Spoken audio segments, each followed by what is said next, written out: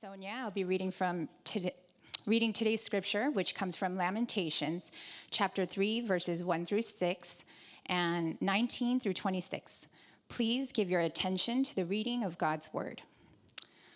I am the man who has seen affliction under the rod of his wrath. He has driven and brought me into darkness without any light. Surely against me he turns his hand again and again the whole day long. He has made my flesh and my skin waste away. He has broken my bones. He has besieged and enveloped me with bitterness and tribulation. He has made me dwell in darkness like the dead of long ago. Remember my affliction and my wanderings, the wormwood and the gall. My soul continually remembers it and is bowed down within me.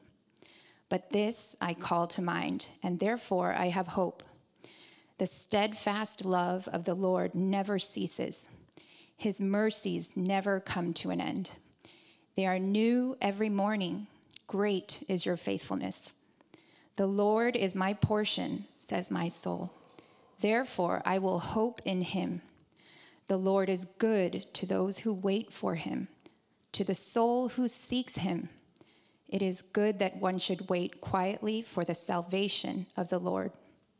Amen. And now let's give our attention to the preaching of God's word. Thank you.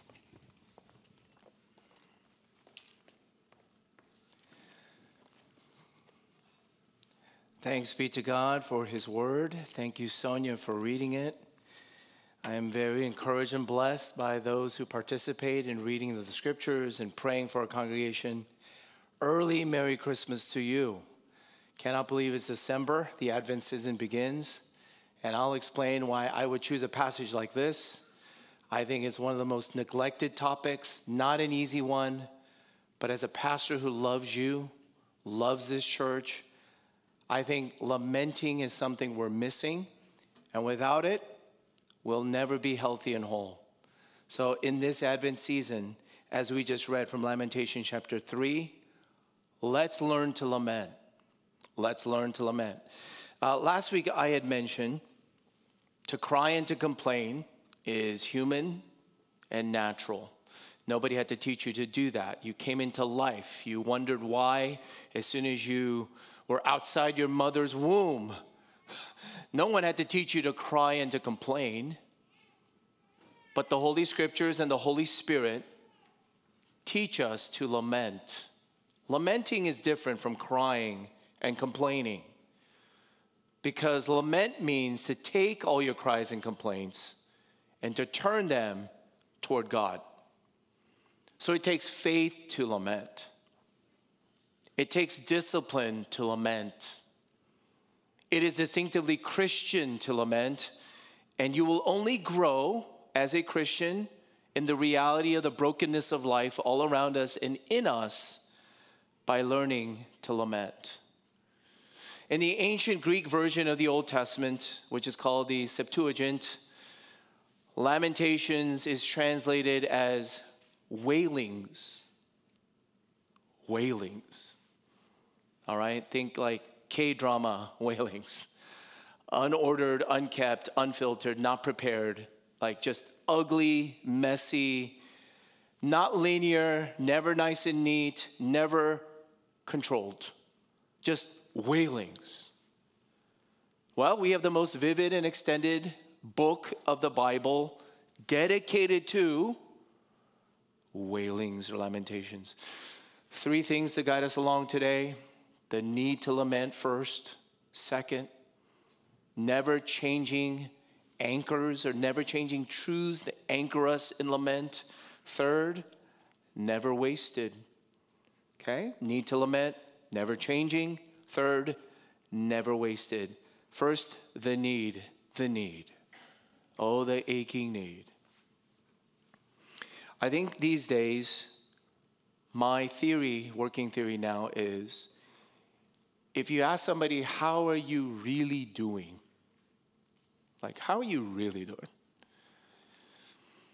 Depending upon the trust and the time and space, I think most people, if they were honest to the question of how you're really doing, I think people would just cry.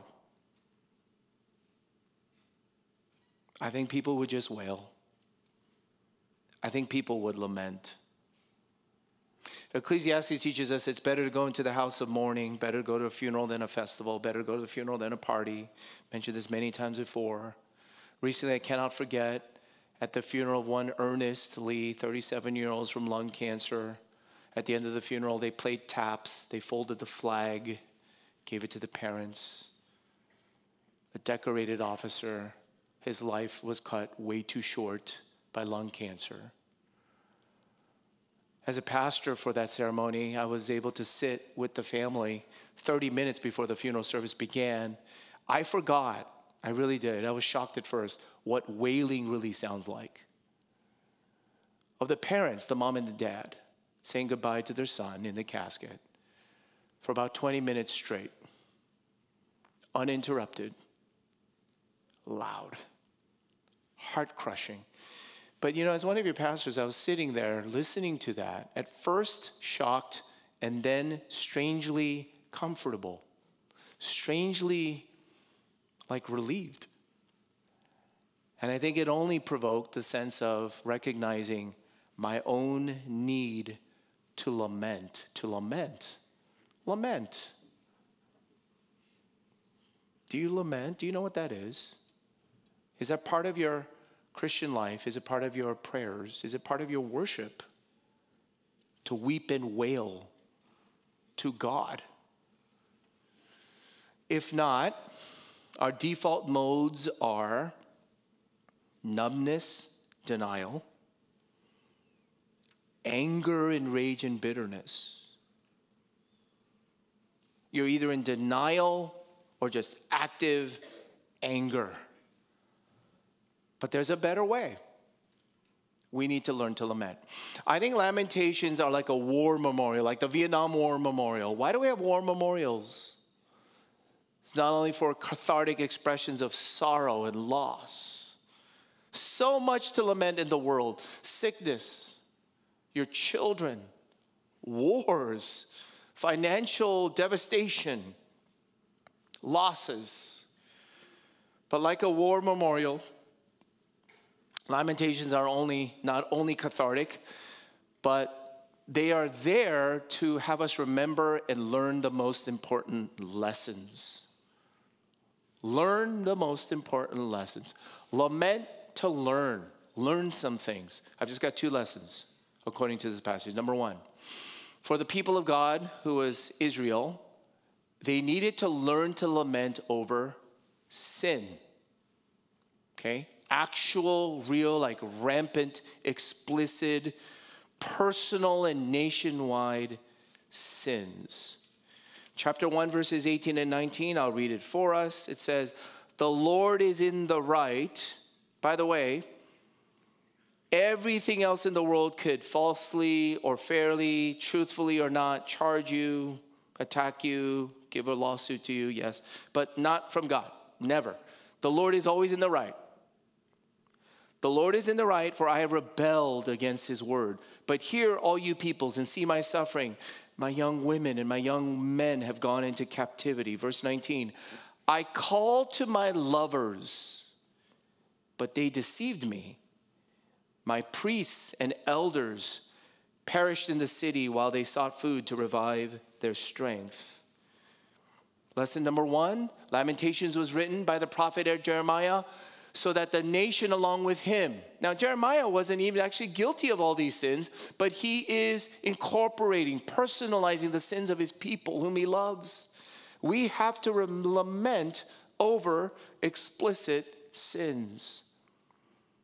According to the chapter or the verses I just read, what is the sin of Israel? Well, they called out to lovers, but the lovers let them down the people of God fell in love with other lovers. But those lovers tricked them and brought about devastation. All idolatry, the number one commandment is, You shall have no other gods before me. Every time you sin or break a commandment is because you break the number one commandment. Something or someone else has become your God.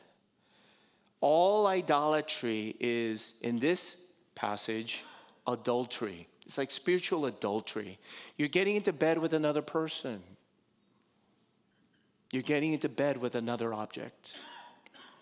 You see, whatever today captures most of your attention, captures most of your heart, captures most of your energies, captures your dreams, captures your fears, captures your heart, mind, and soul more than God. If there's anything in all the world that captures you more than God, you are in adulterous sin. That which commands your deepest devotion and sacrifices of you is your real lover or your real God. Right? It used to be I'll sacrifice everything, everything for my survival and my career. Maybe some people now it's I'll sacrifice everything, everything for my kids and their welfare and success, or I'm living vicariously still through my kids or romance and fall in love. I'll sacrifice everything for that as long as I can stay in love. Oh, but Jeremiah, who is called by God to call out the people of God, to explain the reasons of why they are lamenting, why they are so ruined, is all lovers, all, all idols, just a matter of time, they're gonna let you down. They really will. Look at the first six verses, which we just read in chapter 3. How personal God is. Did you know God is so personal? Do you relate and enjoy a personal relationship with a personal God? Not a cosmic force, not an unknown name or deity, not a removed, aloof, indifferent being up in the sky. No, someone immensely and intensely personal with you. And look at how personal God takes it with adultery against him. One verse says, Jeremiah says, Against me, against me, he turns his hand again and again, all day long. Who talks like that? Only people who are in a personal relationship with God. God is so personal, and he takes it very personal of how you behave how you act, how you may forget and forsake the only one who loves you so. No therapist, no psychologist, no science, no entertainment, no escape can resolve if God is against you personally and his hand is against you again and again all day long. Nothing can fix that. And why would God's hand be against you all day long. It's because you betrayed him. You love someone or something else more than him. It's adultery. Oh, I'm going to be careful with this. And you suspect your spouse is cheating on you. You hire a private investigator to go figure out if your spouse is really adulterous and cheating on you. And God forbid you do find out that your spouse is cheating on you. And then you find out who your spouse is cheating on you with. And lo and behold, you find out that the other person that your spouse is in bed with is far less worthy. Hmm? Yes, far less beautiful, far less than you. How would you feel? How would you feel? And my friends, that's why we have lamentations and that's why we have a prophet. He's saying, This is somewhat of God, how personally, how he feels of a adulterous lover, someone whom he loves but continues to get in bed with so many other lovers. Oh, so Jeremiah's tall task as a prophet of God is to call the people of God out and to explain the reasons why we are where we are. Why we need to learn to lament. Well, God's holy wrath and judgment has been poured out.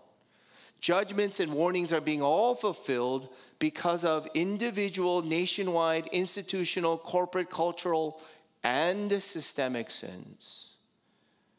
Lesson number one we cannot bypass, we will never bypass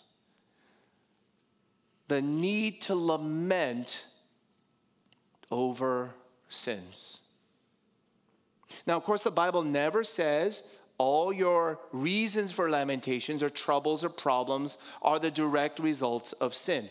Chapter 3, verse 52 tells us there are unfair, unvalidated, cancel culture to the extreme, where I just lump you with every other abuser and oppressor that I've ever felt. There are charges without cause. There are accusations that are totally false. But surely, my friends, so much of our lamentations and troubles and sufferings are the results of sins, are they not? Here's lesson number two. If lesson number one is the need to lament over sins, lesson number two is this lament to repent and heal from your sins. And this is where uh, one of your pastors has really, really neglected. The time and space it would take to not only confess your sins, but to lament and mourn over them. Blessed are those who mourn. Not to just go pass it by really quick. Oh Lord, I committed that sin again. I might have slandered, I might have lusted, I was full of pride, I reacted this way. Hmm but to lament over it. And why would you have an entire book of the Bible that spends extended, vivid time lamenting over sins that you know God would forgive? Well, here's why it's so that you could see and feel and sense how wicked, how serious, how evil how offensive it really is to God. To spend time in Lamentations this Advent season is to help you repent and heal from your sins. Jeremiah did. And I actually want to give you a clue. God does too. God laments over the sins of his people. A commentator, he's at Fuller Seminary now, Soong-Chan Rah on Lamentations, quote, Christian communities arising from celebration do not want their lives changed because their lives are in a good place. That is a searing, searing observation. Here's what I think Soong-Chan Rah means. There's no problem. There's a place for optimism, positive songs and seminars, happy songs and praise, which of course dominate the American evangelical landscape. However, although praise songs have their place, most churches and Christians who never want to spend time in laments, maybe it's because you don't want to see or repent from your comfortable sins. Maybe you and I avoid lamentations because you don't actually want to feel how evil or offensive that is. Maybe a lot of Christian churches across America spend a lot of times with happy songs because you want to stay happy and comfortable the way that you are. But oh, what if lamentations were to come in? Not only over losses and crises and sicknesses and devastations of life, but over sins. Sins, our sin, my sin. And if you do so, God will do something with it that nothing else really ever can. I think there are parts of your life and my life that if you don't bring it in lamentations to God, will come out in a hundred different forms way, way less healthy. If you don't learn to lament before God, there are dimensions and all these things of your heart, mind, and soul that will, you can't help it, but will still just bleed out in much more destructive or toxic forms. But the book of Lamentations is given to us where God is telling us through a prophet God wants all the broken, messy, ugliest parts of your life. He doesn't want you to go to worship or to go to church with seriously inconsistent, hollow experiences. And for those of us in this room, where if you've not learned to lament before your God, well, that's why actually you and I might be so unwell. Let me say that again. If you have not learned to lament over sins and to lament to repent and be set free from your sins, there's nothing else in the world that could heal and make you well before God Himself. The need to lament. 2 Corinthians chapter 7, verses 9 and 10. Hopefully, you remember that book. It hasn't been too long ago. We just finished it. Apostle Paul sent a letter to a church who had personally attacked him, grieved him, opposed him, questioned him, maligned him, publicly slandered him, attacked him, hated on him. So he sent a letter to them, a letter preceding Second Corinthians that did actually a lot of effective work for many people at Corinth. And here's what Paul says about them. As it is, I rejoice, not because you were grieved by his previous letter, but because you were grieved into repenting. For you felt a godly grief, so that you suffered no loss through us. For godly grief produces a repentance that leads to salvation without regret, whereas worldly grief produces death. There's such a thing as godly grief versus worldly grief. Godly lamenting and wailings and just worldly wailings. What would make the difference? One leads to salvation and life without regret, the other leads to death. What in the world could make the difference between the two? How can you grieve or lament in a godly way that leads to life and salvation versus grieving and lamenting in a worldly way that's just self destructive? I keep coming back to this in marriage relationship. Let's say one day your spouse comes to you and says, I'm really done. I'm done. I'm finished. This has been a hundred times we fought over the same issue. You will not change. I'm actually out. I'm done. And sorry, I'm just going to pick on men like myself and husbands usually. The husband turns around and says, Honey, what? I didn't know it was that bad. I had no idea it had gotten this bad. No, please, no, let's work it out.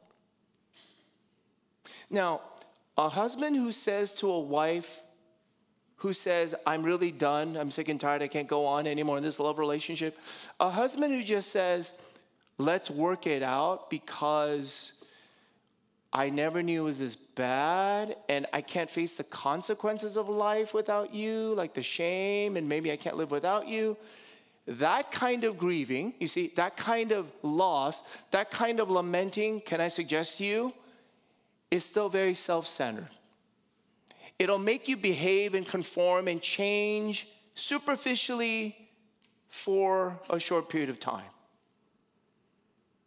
Whereas a different husband who hears from a wife, I'm done, I'm done, I'm out of here, I can't take this anymore, I need to move on. That husband, a different husband says, I didn't know I hurt you so. I didn't know how much I had broken your heart. I didn't know how much I had betrayed your beauty and intelligence and dignity. Honey, I'm so sorry that I sinned against you. After the track record of love and goodness from you. You see, one kind of grief is self obsessed. The other kind of grief is obsessed with the one you sinned against. One kind of grief and lamenting is, oh, woe is me, what's going to happen to me and the consequences, I got caught. The other kind of grief and repenting is, I can't believe I broke your heart. And every Christian person in this room has a track record to how good and gracious and loving and kind a personal God has been to you. And what Paul is suggesting here is this godly grief is to not just be concerned about yourself, but it's to look at the most beautiful one whom you sinned against. And when you do, that is a kind of godly hurt that lends itself to healing you like no other. There is a godly grieving and wailing and lamenting and repenting that is more concerned with the God you sinned against that will bring you back to life like no other experience can. Lamentations, the need to lament. I don't know if anyone in this room is with me on this the need to lament over rampant and explicit sins. And then, second lesson is lament to repent and set free, to be set free from your sins. Lamentations happens when you bring all your whys. How's God, how could you do this to me? You bring all your whys, all your complaints, and when you don't get an answer in your laments, you are moved toward the who. A lament, which takes faith, it takes attention, it takes discipline, it does take some work, is where you bring all your whys to God and then you are moved into the presence of who. All right, now the never changing anchors in our laments. Please don't just do the first part. Please don't just, it's better to wail to God, yes, than just anyone else, but just don't stop there. You must have never changing truths to anchor you. Look at verses 22 and 23. Lamentations chapter 3. The steadfast love of the Lord never ceases, His mercies never come to an end. They are new every morning. Great is your faithfulness. Never changing anchor, the steadfast love and the mercies of God do not come to an end. The steadfast love and mercies of God never cease for his people, his children. Oh, they do cease for the world, by the way. But the steadfast love and mercies of God never come to an end for those who need it. For those who need it. I was uh, struck or reminded by these lyrics over the weekend. again, an Irish rock band, U2. It's called So Cruel, So Cruel. The song ends by saying, To stay with you, I'd be a fool. To stay with you, I'd be a fool. At the beginning of the song, it sings, You know, I'm only hanging on to watch you go down. I'm only hanging on to watch you go down. Your love is like a see through dress I put my lips to your lips to put a stop to the lies. So cruel. A song of unrequited love, betrayal, adultery. But to stay with you, I'd be a fool. And yet, of course, this is exactly the song that God sings over you. The steadfast love and mercies do not come to an end even for those who are not faithful. Lesson number two, or anchor number two, never changing, never changing. Look at verse 31 and 32. 31 and 32 of Lamentations. For the Lord will not cast off forever, but though he cause grief, he will have compassion according to the abundance of his steadfast love. God will always have the final word. God has the final say. You don't get to write your final chapter. You don't get to conclude it on your own. No, God will, especially if you're His. God has the final word.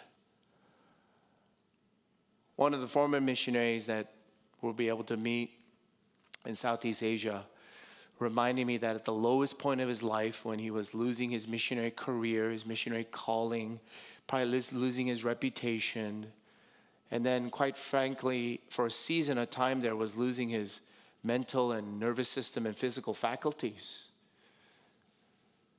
He reminded me at that point that I had been able to visit him out in Japan and told him, hey, God's not done with you yet.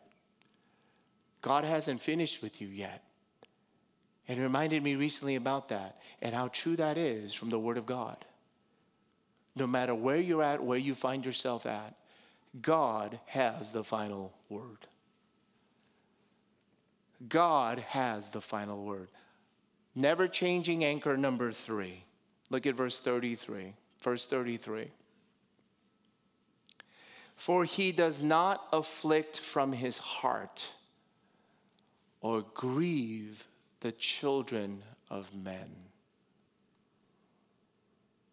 You know what doesn't change? The heart of God for you. Now, I don't know if you really know that. I don't know if you really feel that. For some of you, don't really feel that because of your family dynamics and history. Never let you really feel this. But you can go to prison and go to a dungeon. If you're a child of God, God's heart never changes for you.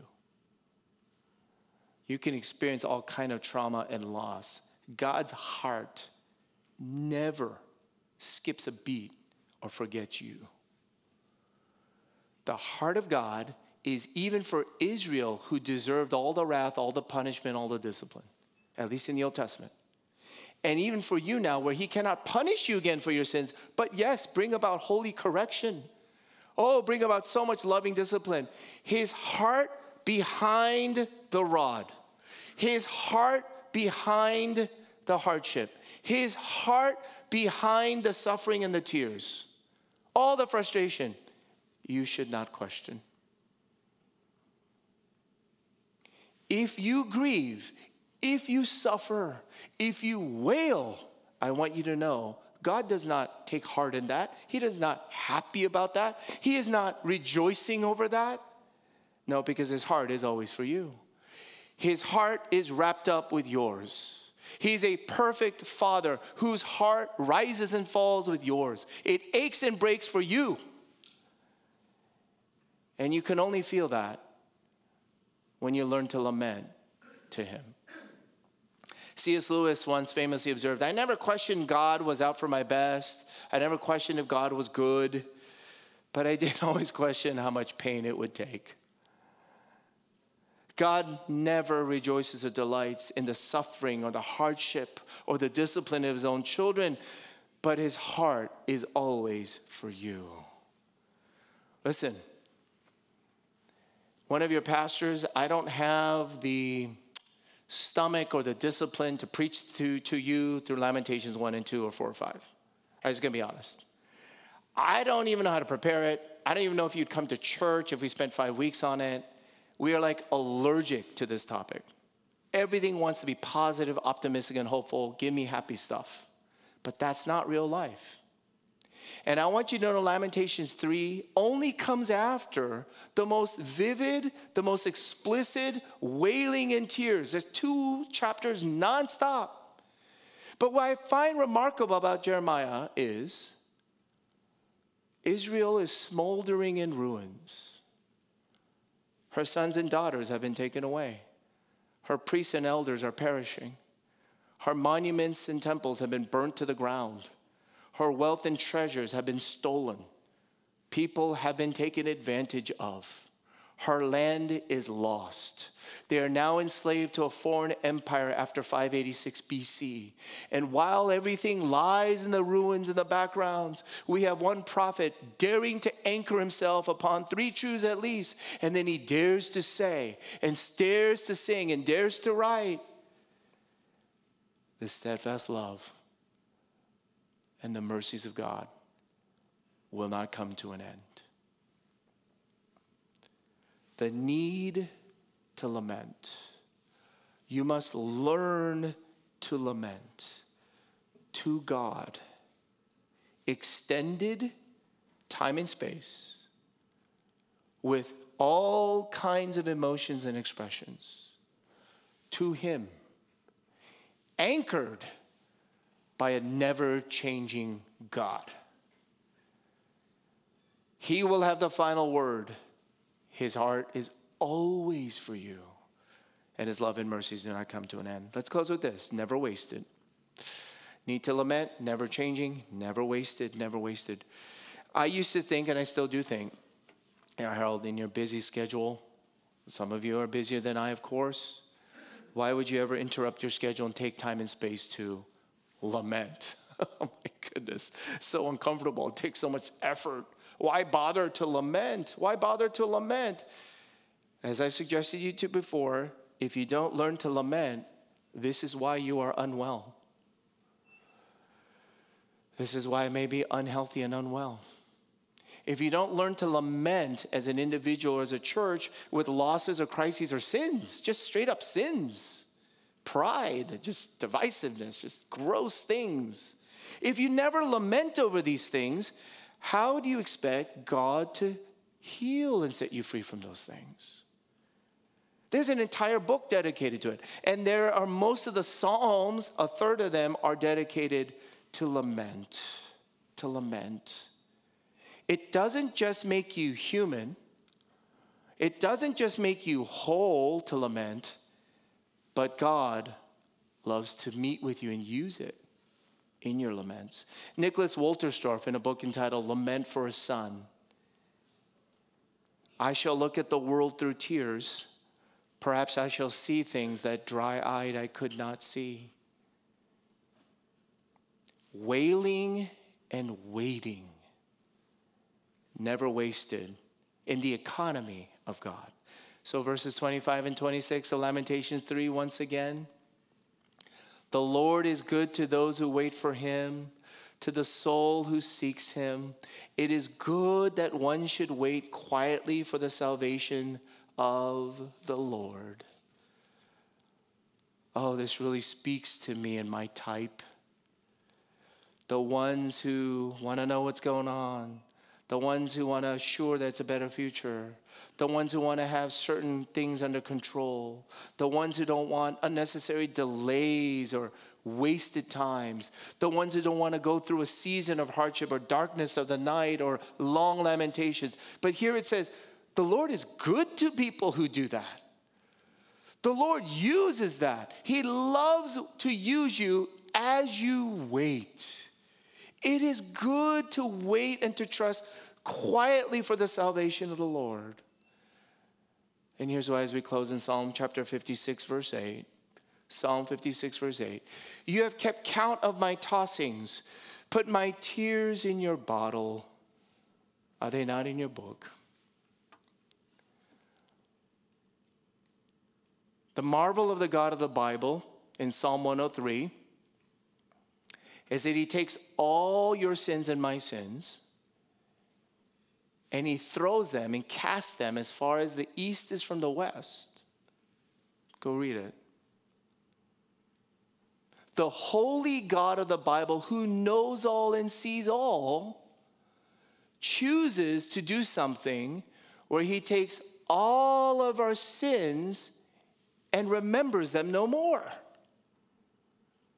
He wants to forget them forever. And He will never bring them up again against you. But yet, in Psalm 56 and according to Lamentations, the same God who forgets all of our sins will remember our tears. The very same God who says, I will throw away and never bring up your sins against you, but let me collect your tears. Let me record every one. Let me compile them in a bottle. And why would God do that? So that He will bring about an ultimate and full healing and restoration one day where He will wipe every tear from your eyes. No more sinning, no more shaming, no more loss, and no more lamentations and wailing. I long for Jesus to come back like never before, the second coming. Advent season is for the whole Christian worldwide community is to long and celebrate. Oh, because of his first coming, he is coming back. And it is because of a weary world in need of a thrill, a weary world who is aching to rejoice, a weary world who is wailing and lamenting nonstop because of ultimately God's hand is against you. But what if the very hands of God that were against you came down in the form of human flesh of Jesus Christ, born in a manger, and his own hands would be hung up for you? The hands that were against you are now for you as he surrendered himself. He says, I'll take all your sins to remember them no more. But this very God man, Jesus Christ, why did he come? Why did he come? Not only way to take away and forget, forgive all your sins, but to show up at a funeral of his friend and weep. Not only way to take away all your sins, but a God who bleeds and weeps. How can you and I ever dare think lamenting is unimportant or unnecessary? when God showed up in Jesus Christ to lament himself. Dear friends, I don't want you to take my word. I want you to take God's word for it. This sermon, and like many other sermons on prayer, won't mean much if you don't have an action item to it. You can leave this place moved or inspired, think that some things were really helpful. But if you don't learn to lament, just open up a lament in the Psalms or Lamentations, read it, and then just say whatever it provokes in your mind and heart. I can't think of anything better for you to do in the Advent season. Read a lament verse by verse, and then say, when it says, How long, how long, O Lord, will you forsake me? How long, O Lord, will you forget me? After you read that verse, just say or pray, Lord, I do feel like that. I feel like you've forsaken me about this. I feel like you forgot me about this. I feel like, how come you weren't there when this happened? Hey, how come I feel like this other person who keeps attacking me? Why won't you take care of it? Do it. Do it. Have an action item. Go and learn to lament. Learn to lament because in your lamentations, the steadfast love of the Lord never ceases. God will have the final word. God will have the final word. God, his heart for you will never change, and none of it will ever be wasted. Would you join me? Let's pray together this morning. Father in heaven, as we are in Advent season now, as we celebrate and reflect upon why Jesus had to come in the first place. Holy Spirit, please grab a hold of our attention, our hearts, and minds. Teach us to lament, to lament over sins, to lament over my sins, to lament over our sins, so that you might heal and set us free from them. Holy Spirit, would you do this miraculous healing work?